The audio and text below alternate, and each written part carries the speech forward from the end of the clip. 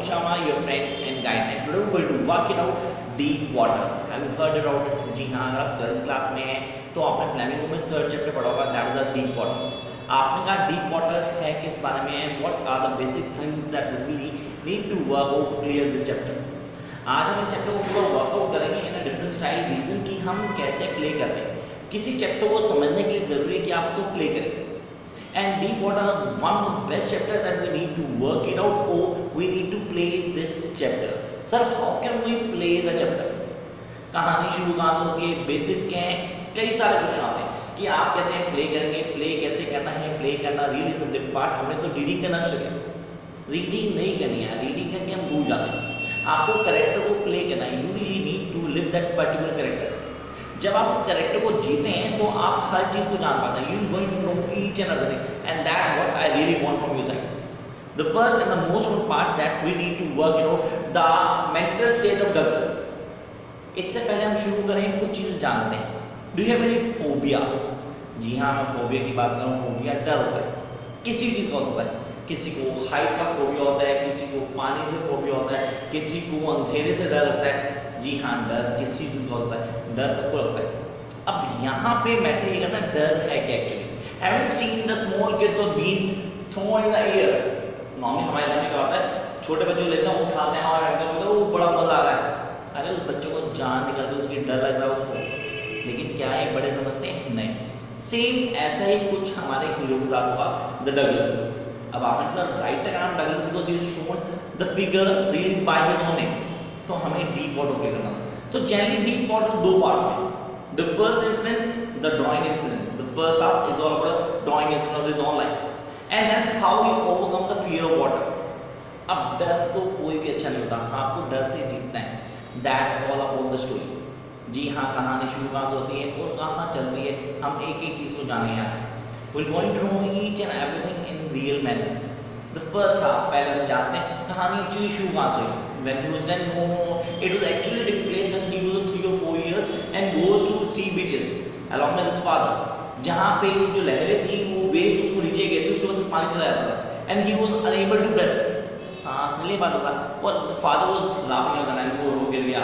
That that was this और वो पानी का डर से निकलने के लिए मैंने वाज 10 तो he started joining swimming class जी हाँ he started taking swimming classes अच्छा कहाँ पे वाईएमसीए यकीन डेफिनेटली वहाँ पे उसके पास एक पूल था वहाँ पे उसने क्लासेस ज्वाइन की।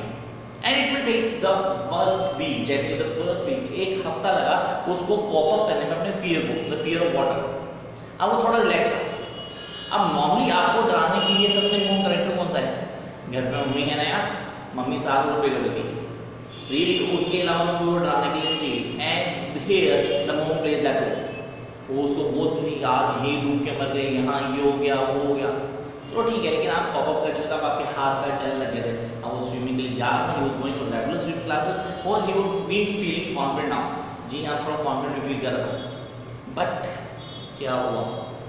One day when he goes actually क्या हुआ? उसने थोड़े पहले चला गया। And found nobody was there जैसे कोई भी नहीं था। तो जाके होने बैठ अकेला तो नहीं जाएगा।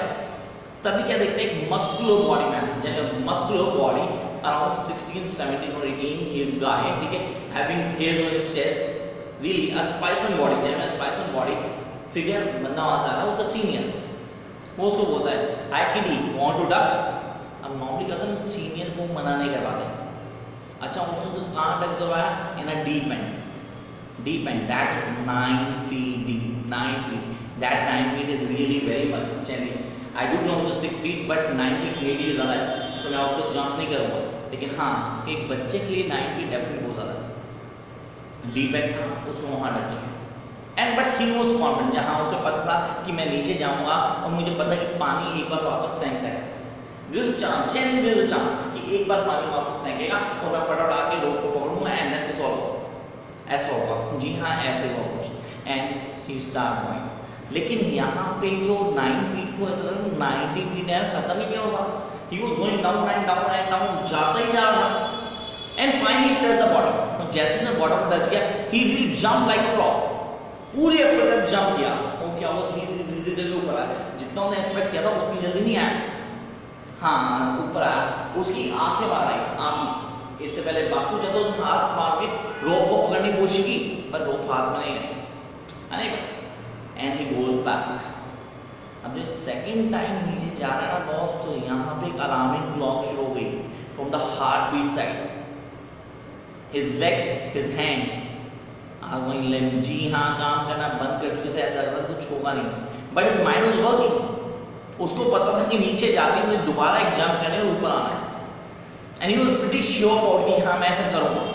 And he hit the bottom उसने फिर जंप किया with all that what he was having उसने जंप किया and when he jump he came up and up and up और इस बार आँखों के साथ नाक ऊपर आया तो उसने फटाफट मुँह खोला सांस ले क्या हुआ स्विमिंग पूल का पानी में घुस गया and this is third time but this time he losing his consciousness जी हाँ all over that I'm not able to jump again the mind says time to go off screen it's all peace so need not to panic need not to do any effort अब आप नीचे जाओ और हाथ पैर छोड़ो।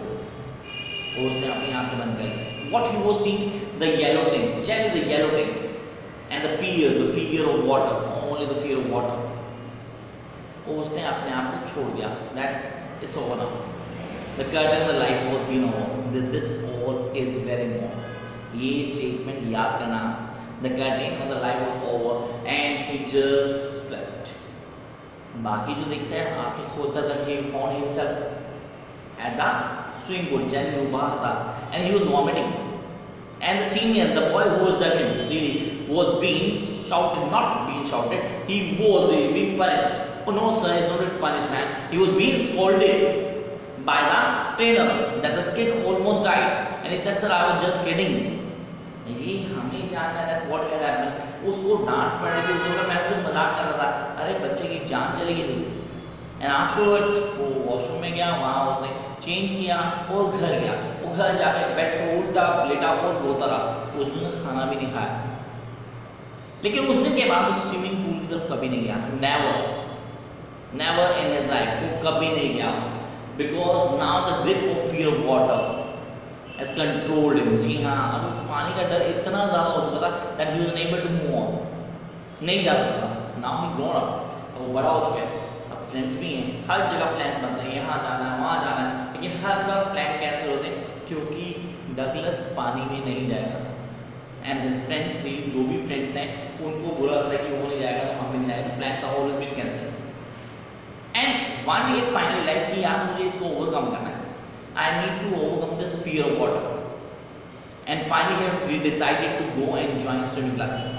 उसके लिए उसने इंस्ट्रक्शन से बात की, उसको अपना पूरा फोबिया बताया and then instruction start his training day by day hour by hour really day by day hour by hour minute by minute he train him जी हाँ उसने उसे ट्रेन किया।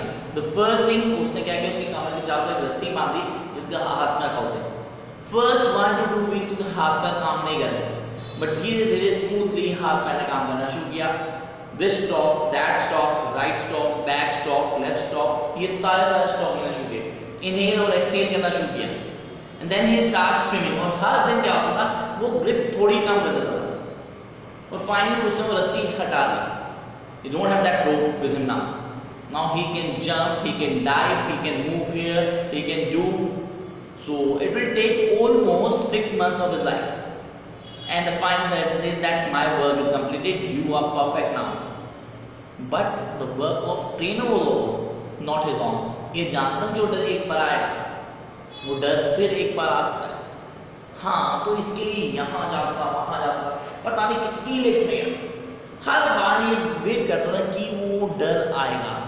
वो येलो टेक्स दुबा देखेंगे हाँ हुआ ही मिडल सी ठीक है ही हाँ, वो and sees that yellow yellow things देखते हैं उस but this time he says hello Miss Fear you want to make fear hush away that that is most more जी हाँ यहाँ पे बार आगे shouted that I conquered the fear of water that we really need to know how he says so what was the basic reason or how he overcome the fear of water that story jenny that story अब बात आती है कि हमें इस chapter में कौन से क्वेश्चन करने हैं। What are the most important question of this chapter the deep water the first we need to work out the two basic reasons of deep water the first half how he overcome the fear of water most important question pre check it out अगर आप CBSE boards के papers देखते हैं तो ये question बहुत बार how does overcome the fear of water first question